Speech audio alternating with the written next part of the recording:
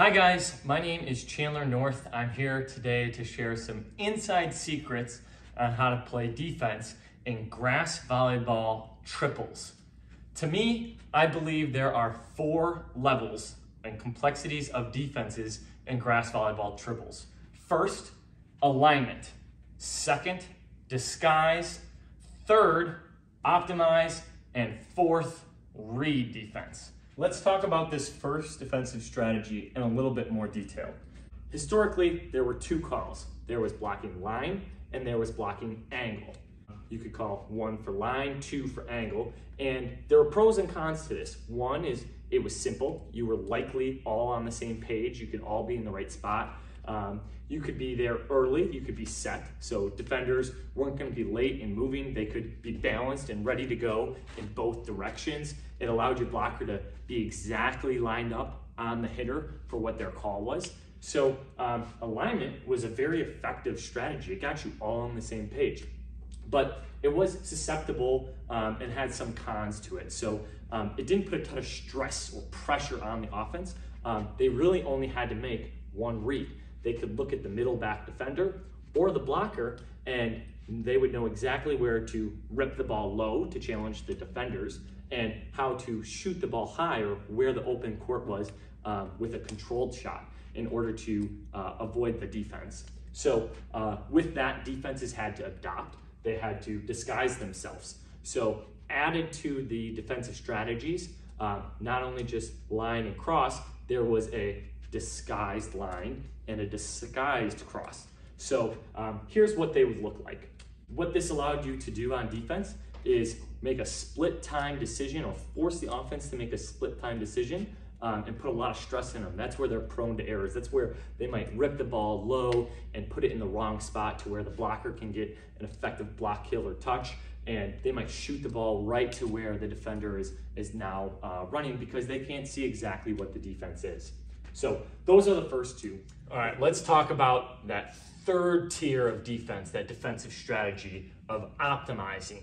So whenever I think of this defensive strategy, I think mathematically of what's the best efficiency in the long run, what statistics are going to lead to success um, in the long run. So um, in order to do that, I'll make a little, some general assumptions. So in grass volleyball, the court is huge. There's tons of court to cover. So the advantage goes to the offense. They can default and hit to a lot of open space. So in general, out percentages might be above or higher than 66%. So if you're able to limit or get seven chances on defense, you should be okay in terms of having a good chance to win. So in order to do that, your job is to find opportunities that lead to out percentages less than 50% and avoid situations that the offense would be in the advantage of side outs greater than 66%.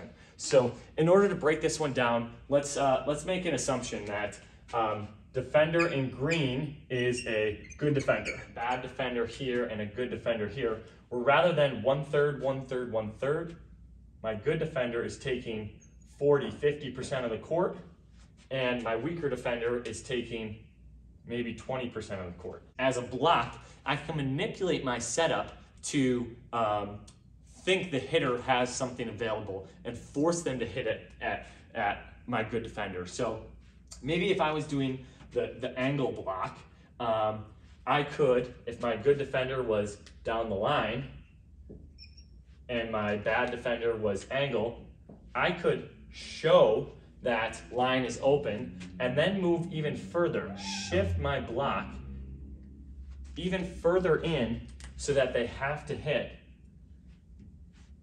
at my good defender. Now, I can do this both with deception, a move, or I can do it in terms of how I line up against the hitter. Um, just in terms of percentages then, I give my good defender a chance to make um, higher plays at the ball. Now, this is great if people's shot charts were exactly even. Let's say the spray chart of the hitter was in the meat of the court, was good for the offense, and if they swing towards the sidelines, um, it's good for the defense. But this isn't realistic. This isn't your average hitter.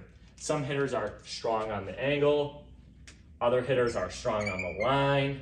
So you as a defense have to do not only the alignment for yourselves, but do it against the hitter's preferences, tendencies, and whatnot. So often when you see the strategy of optimization, you see high level players execute this, you'll see, well, on a fast set, they're a good hitter down the line, but on a, on a system set from off the net, they really only hit angle. So my percentages of where are where, what court we're gonna protect and what we're gonna give up um, shifts depending on what's going on across the net. So um, that at a high level describes the third level of defense, optimizing. So I want to go through two more examples of high level optimized defenses. The first is the power guy. He can swing with range from here to here and get around one blocker um, and hit with high efficiency advantage to the offense in both angle and cross or uh, line.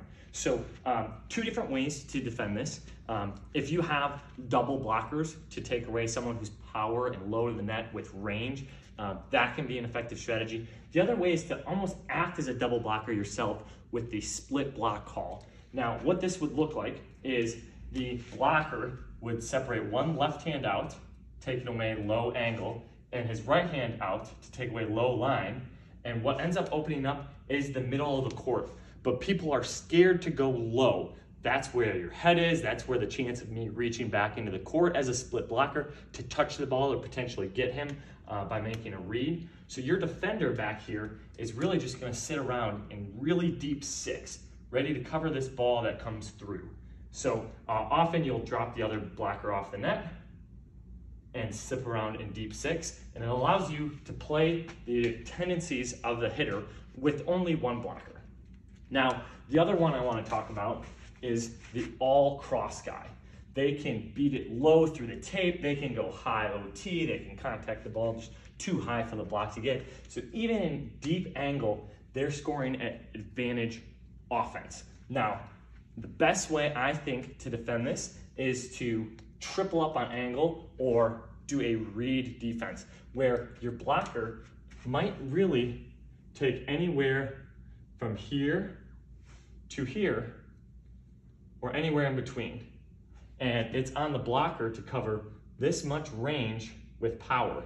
So they might line up in the angle and leave line. We're just daring this guy to hit line.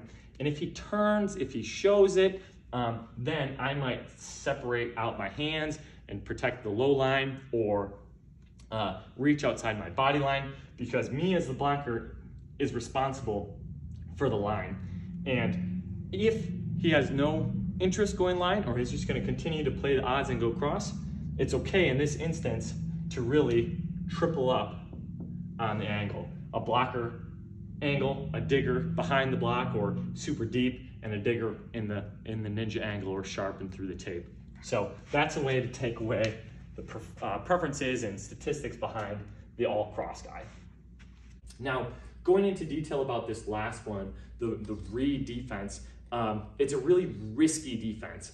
Um, it allows or puts your team at risk of not being on the same page, and maybe you triple up on the angle and they can just have a clean kill or easy point dinking down the line. Or um, you as a blocker are making a late move that opens up just a sliver of court that the digger didn't know you were going to do that, so they were reading something else, and now all of a sudden um, the advantage goes to the offense because um, if if they were deceptive, or um, clunky and, or, or, really creative. Let's say they're like Ryan Amdahl with his Crocs and his windmill swing, or they're goofy footed and really hard to read. Now you're putting a lot of stress on yourselves as a defense uh, to make the right plays. But I do want to speak about this one in a little bit more detail in that if you go watch out of system or the semis and finals at, at Wapaka Boat Ride or Grass Triple at its highest level, um, in order to take away the primary shot or in order so that when you do get your one chance, you do have them hit it right at you, you're exactly there, you're, you're reading the spin of the ball, you know it's gonna be spatchy, you know it's gonna be steep. Um, it allows you to have a higher conversion uh, percentage. So let's say I was gonna mix in one dive block uh, in, the, in, the, in the set, in the one game to 21. Um, well, now I'm doing it strategically. I'm doing it at the time that I think is most effective or puts me at the highest percentage chance to get a block kill. Or, or me as a digger is I'm roaming all the way to the line or staying super neutral in six. Um, it, now when I read it correctly, I'm going to convert it. So um, reading maybe gives you less chances, but it gives you a better chance to convert it. So rather than just touching it as a block or just touching it as a digger, now you have a better chance of controlling it and making the offense pay for it. So those are my four levels of defense, alignment, disguise, optimize, and read. And I truly, truly believe that 90 plus percent of your defense can be done in zones one, two, and three. And reading um, is, when done correctly or at the highest levels, um, really unstoppable as an offense when someone has a good read on you. So I'll end with one story. Um, Tyler and I argue a lot about who deserves the credit for uh, being good on defense. So me as a blocker, I operate very statistically. I, I live in space three of, you know, it was my move, my last hand movement that really opened up, or I gave you 60% of the court and Ian or whoever was setting 10% of the court and I made them hit it to you. And, and Tyler would flip and he'd go, well, no, I was reading the arm swing. I saw their wrist, so I was in exactly the right position. So um, are we both wrong? Are we both correct? Um, I truly believe we're both correct in that sense, and and that's what it takes to be to great to be great and elite, and and why players that um, like Tyler or EJ or Beezer who have a really strong ability in read have been a really strong pair with me, and that um, if I can put together a really good strategy or alignment um, and optimize it based on certain things and and kind of cue them up of what types of balls to come through, uh, it gives them a, a really good opportunity to make a read and make a play. So um, that's how to play grass volleyball triples defense.